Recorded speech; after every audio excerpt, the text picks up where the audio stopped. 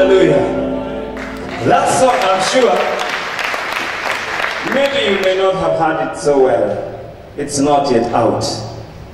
It is just from the, the studio, just all the producer, just, just give me some songs I go, I go worship somewhere and they have a worship experience. So, one time when I maybe sometimes when I get the privilege of coming back again, I will come and I you will have the full CD. Buona spesa. The Lord bless you so so much for giving me the platform and the altar is to worship the Lord.